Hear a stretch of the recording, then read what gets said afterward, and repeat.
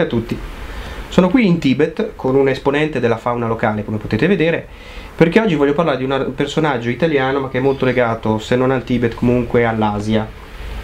e all'Oriente in generale. Ehm, è un giornalista che nella seconda parte della sua vita si è dedicato di più a eh, libri o comunque scritti di eh, diciamo miglioramento personale, comunque raggiungimento di una maggiore serenità, come via, diciamo, come diceva anche lui, per, eh, come dire, nel sentiero della vita, mh, riuscire a percorrerlo in maniera più serena. Il personaggio in questione è Tiziano Terzani e mh, quello di cui voglio parlare appunto è quelli che sono i suoi lavori in questo merito, non quelli di, di, giornalista di cui conosco magari anche un po' di meno e non saprei cosa dire, probabilmente è stato sicuramente un ottimo inviato speciale della stampa tedesca perché lui non trovava lavoro come, come, italiano, quindi fu per molti anni, per 30 anni come dice lui, un inviato della stampa tedesca in, in Cina in Oriente. Quello che voglio dire è che Tiziano Terzani ci sono molti video anche su internet o ha scritto vari libri di cui possono essere letti anche dei sunti. È un personaggio sicuramente piacevole da ascoltare, eh, sia nelle interviste sia in, altre, in altri ambiti. Eh, e quindi, eh, come posso dire, i pregi credo che siano sotto gli occhi di tutti, è una personalità che esprime positività, eh, lo fa in maniera pacata, tranquilla, trova anche delle soluzioni, delle idee che secondo me sono, non, magari non sono innovative, però sono importanti da essere ribadite. Per esempio, alcuni suoi concetti che io trovo sicuramente giusti sono quelli che noi non dovremmo cercare troppo eh, di trovare il, um, un bene o trovare il bene assoluto perché non esiste un bene senza un male, come lui amava ripetere nel, nel, nella suo apprezzamento nel suo apprezzamento del, dello yin e dello yang, il simbolo eh, della cultura indiana, credo, che appunto rappresenta il nero e il bianco che si compenetrano e nel bianco c'è un punto di nero, nel nero c'è un punto di bianco perché appunto il bene e il male si compenetrano e al tempo stesso ognuno ha una parte dell'altra, dell'altra entità. E su questo sono d'accordo, cioè quando lui dice che non vuol dire non andare a ricercare le cose, però quando lui dice eh, trovare una, puntare in una direzione di un qualche bene pensando che in quella, in quella condizione lì o che se raggiungessimo quello noi saremmo tra virgolette felici è un errore perché non esiste un bene senza un male, non esiste salute senza malattia, non esiste felicità senza infelicità. Chi non è mai stato infelice non può essere felice e via, via discorrendo in altri, in altri ambiti. Eh, questo per sintetizzare. Quindi sicuramente questo è un punto positivo, ma ce n'ha tanti, cioè è piacevole ascoltarlo e credo che molti di voi l'abbiano già fatto. Ci sono però alcuni punti del suo pensiero che trovo invece poco, poco razionali, poco coerenti. Per esempio c'è un'intervista in cui lui dice che ehm, secondo lui fortemente in ognuno di noi è, è incluso il, la conoscenza di ciò che è bene e ciò che è male, ciò che è giusto, dice lui, e ciò che è sbagliato. E questo non è vero. Prima di tutto perché ci sono persone borderline che non sanno nemmeno loro quello che vogliono, quindi non hanno nemmeno loro dei pregiudizi o dei valori ben chiari, perché gli si muovono continuamente. E lì c'è poco da fare. E io credo che tutti ne abbiamo conosciuti più di, di uno e forse a volte anche noi siamo un po' confusi. Ma ammesso che queste persone con delle confusioni non ci siano,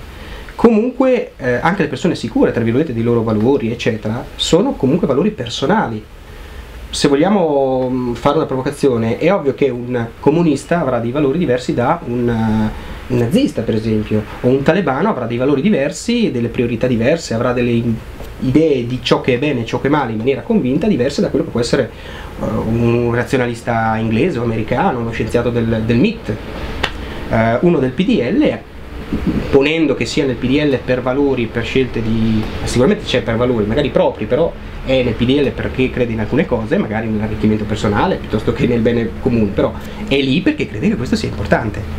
Così come uno che sta nella SEL ha altri valori. Al di là del fatto che, di chi abbia ragione oppure no, queste persone sono convinte di aver ragione. Sì, c'è qualcuno che mente anche se stesso, però sicuramente, ma ci sono molte persone che sono convinte, perché quello che noi pensiamo e quello che noi, come dire, facciamo nostro come valori fondamentali del nostro carattere, non sono dei valori stereotipati che sono uguali per tutti, sono delle cose che si strutturano a seconda del, delle nostre esperienze e anche un po' del nostro carattere congenito. E, mm, quindi è, è, è semplificativo dire che tutti possiamo trovarci d'accordo su alcuni principi fondamentali, perché purtroppo non è vero perché per qualcuno può essere un valore persino la guerra come eh, strumento di eh, accrescimento del coraggio, del, del, di altre cose. Mi ricordo un, detto dei futuristi, per esempio, che dicevano che la, la guerra è l'unica igiene del mondo. Al di là del fatto che si possa contestare o no questa cosa, io credo che loro fossero convinti di questo, scrivevano poesie, si mettevano in prima discussione. Eh, D'Annunzio, che era non era futurista però era vicino forse al movimento, eh, non si risparmiò ad andare volontari in guerra come altri personaggi, perché pensavano, come Hemingway per esempio, che aveva come valore probabilmente il, il, voler vivere una vita avventurosa come cosa positiva. Ecco, quindi io capisco a grandi linee quello che vuol dire eh, Terzani, però è una semplificazione da un punto di vista dell'analisi psicologica dell'essere umano. E così ci sono altre, altre considerazioni di questo genere qui, il fatto per esempio che eh, la società umana eh, possa semplicemente con, con, una rivoluzione interiore cambiare. Eh, questo sarebbe molto bello se fosse così e forse gli viene molto anche dal rapporto stretto con le culture orientali, ma non è così semplice. Noi sappiamo attraverso, con tutti i nostri limiti della cultura occidentale, noi sappiamo attraverso la cultura occidentale che avrà mille limiti ma anche dei pregi secondo me, che ehm, quello che noi siamo, quello che noi possiamo fare dipende molto anche dalla società in cui siamo stati educati, i nostri schemi mentali, le nostre strutture mentali, i nostri pensieri, se noi nasciamo in Occidente, facciamo pensieri diversi che se fossimo nati in, in Cina, perché la cultura è diversa ci crea una, una, una, una diversa, diversa, diversa uh, visione del mondo perché come ho detto tante volte il mondo sicuramente esiste una realtà fuori di noi ma noi la interpretiamo non come una macchina fotografica ma come invece un filtro che è dato dalle nostre esperienze dalle nostre, dalla nostra cultura eccetera. Quindi ognuno interpreta la realtà in maniera leggermente diversa o forse anche molto più diversa. La cultura in cui nasciamo oltre che le esperienze personali sono una grande parte di questa cosa. Quindi rivoluzione interiore è difficile fare una rivoluzione interiore eh, se non c'è una rivoluzione anche esteriore perché l'individuo alla fine è figlio della sua epoca e della sua società. Quindi è un po' pretenzioso pensare che noi possiamo tanto liberarci da quelli che sono i determinismi della nostra società. Questi sono due punti su cui eh, posso criticare un po' Terzani, di cui comunque ho, ho, avuto piacere a vedere molte interviste, ho visto il film che è stato fatto dai tedeschi con Bruno Ganz, mi pare, come protagonista sulla sua vita, sulla ultima parte della sua vita, e apprezzo sicuramente la serenità con cui lui è andato incontro anche alla malattia